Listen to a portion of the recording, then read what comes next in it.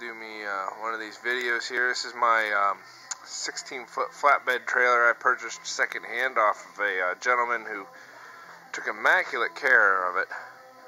But there's some things I don't like about it and there's some things I'm going to change. Um, I took the hold down strips off here so I could take and get in here.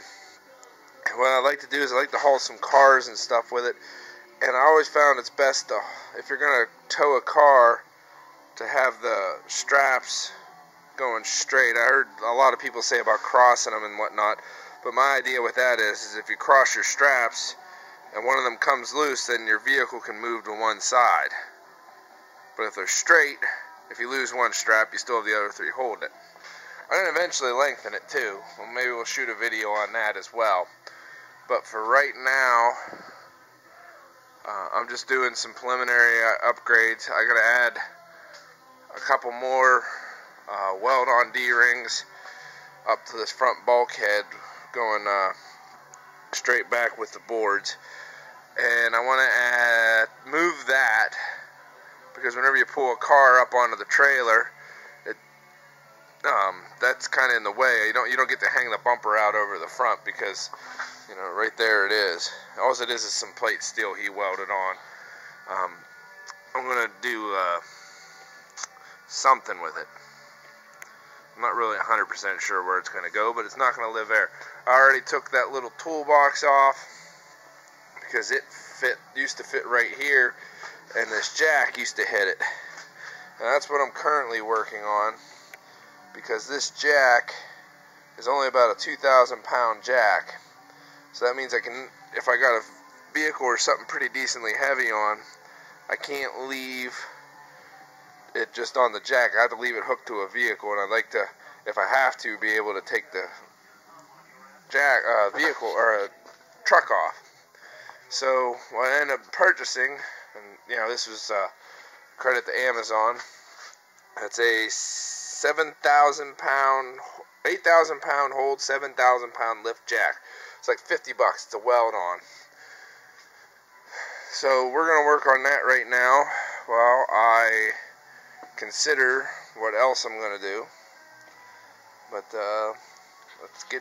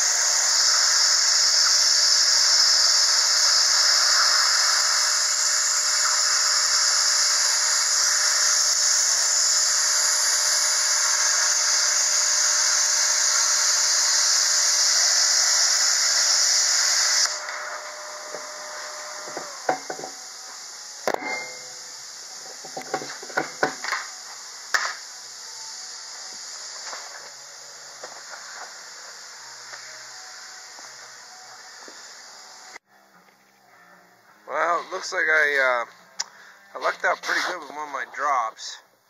Um, see, that was the plate that the original jack was bolt bolted to. You know, jack's down there. I shot a video cutting it off. Uh, ground pretty flush. I didn't grind it prep for weld yet because I was trying to figure out how I was going to do this. But I think I'm going to weld to that bottom and the top here and then just join it. A little tough to see there, but maybe on this side. That's that's black paint on it. But join it all along um, this here side. I'll grind some of that paint off. We'll weld it up. But this here piece seems to fit really good. Just a just a hair bit of gap, which will be fine because I'll fill that in with weld. Better lighting. I'm just going to trim it off at the top, and uh, we'll see where that ends up.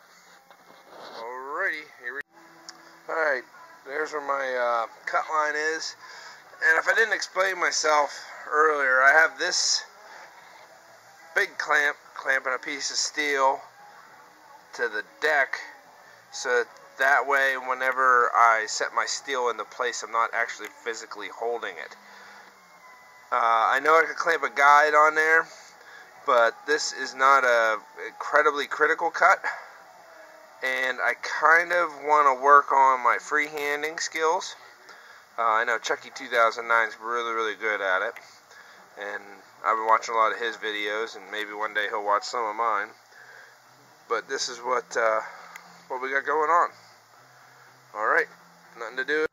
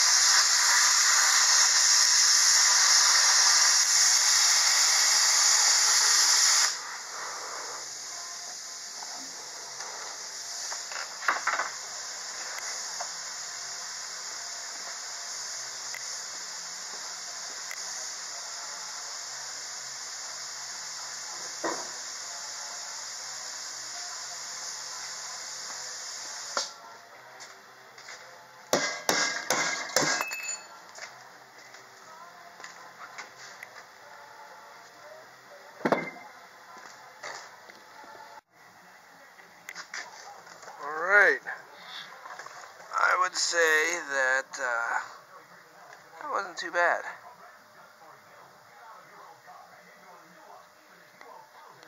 Um, I did grind it some. It wasn't completely perfect, but uh, see if it's cool enough to touch. Yeah, but uh, it's pretty straight, you know.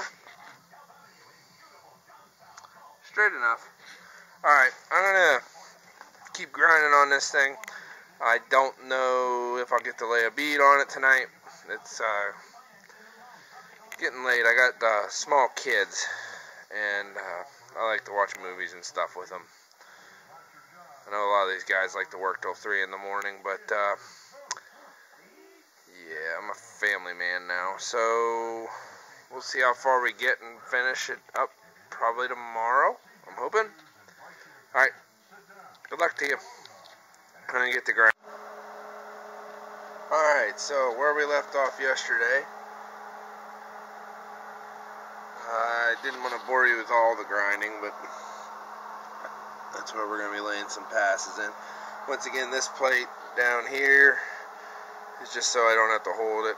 I'll throw a clamp on it and uh, start laying down some weld. Alright, let's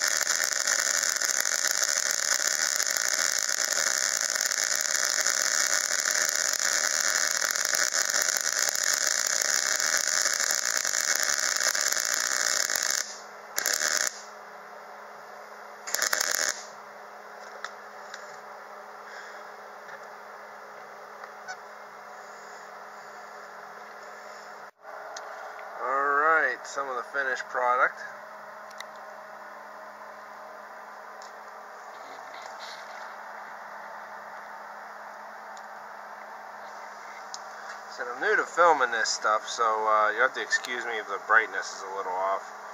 I'm gonna have to play with it a little and see what I can do to take it. Alright, that's a little better.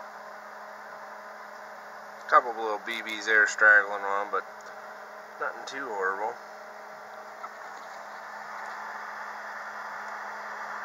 That's a little dark, but what can I say? I'm new to this, and this is uh, my first, so we'll get the rest will be better. But um, that's uh, that's welded across the bottom too, but that's uh, where my trailer jack's about to go. The one that is currently over there. Alright, um, little change of plans. These are, um, I guess they call it T-angle. It's from an old garage door opener. I cut uh, a couple pieces off with my chop saw over there and uh, decided to weld them onto here and that serves two purposes. Number one, it gives me a little bit more of uh, weld surface area. I'm actually welding the whole way along it but it also I found that this frame must have been tweaked or twisted at some point or maybe just from the jack always being on this side I said I got it secondhand, so can't really blame me but anyway um, I come to find that it wasn't straight like the there, there's a bit of a gap to get it at 90 degrees vertical I don't know there you can see the gap a little bit but that's to help me fill in that gap with weld just a little bit. Uh, that's not how wide it actually is. It should be leaned in a little further. Um, but um, That's what I'm trying to do here. But also it does give me a little bit more strength in the joint. You know, instead of one pass on here, you know, like connecting the two, I'll have a pass here, a pass across the bottom of both pieces, and then a pass back up the other side. So that's that's the point of it. All right. Here's what we ended up with. It's all painted black now. Uh, I'm gonna scuff up and uh, paint it again. I just wanted to get a coat on with the, uh, well, it was still a little warm. That helps, in my opinion, helps bake the paint on just a little bit. If you're doing something like an implement or whatever else, I wouldn't heat up the Nova to paint it. In case you're wondering, that's the car in the background, but I think it looks pretty good. Um, time will tell whether I'm going to regret uh, how low that is.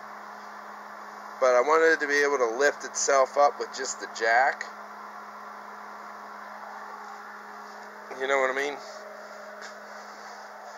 Because if it ever fell back off the jack, like fell off the log or whatever you had it on, I wanted to be able to stand on its own. You know what I mean? I mean, I don't live in San Francisco, so it can't be that bad. Yeah, that's the jack mounted. Now on to